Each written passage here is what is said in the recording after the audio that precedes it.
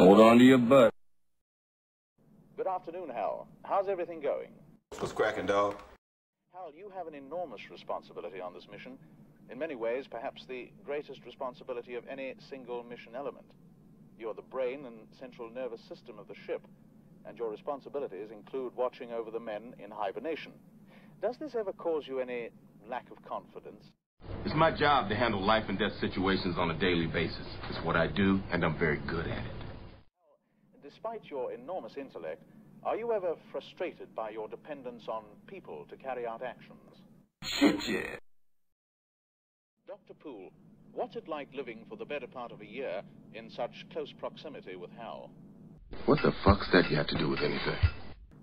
Well, it's pretty close to what you said about him earlier. He is just like a sixth member of the crew. Very quickly get adjusted to the idea that he talks, and you think of him uh, really just as another person. Yo, yo, yo, man, you best back off. I'm getting a little pissed here. Do you believe that Hal has genuine emotions? Well, he acts like he has genuine emotions. Um, of course, he's programmed that way to make it easier for us to talk to him. But as to whether or not he has real feelings is something I don't think anyone can truthfully answer. Get the fuck out of my face with that shit. Well, hell, I'm damned if I can find anything wrong with it. Woo! you know how I can tell you're lying? I can smell the bullshit coming out of your mouth. How would you account for this discrepancy between you and the Twin 9000? You got a bug up your ass about me. Listen, Hal.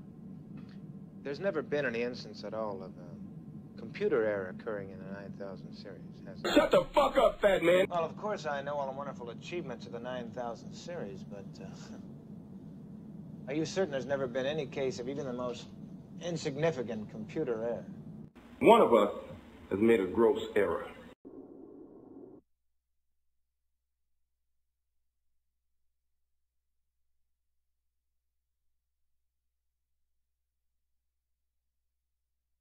Open the pod bay doors, Hal. Fuck you.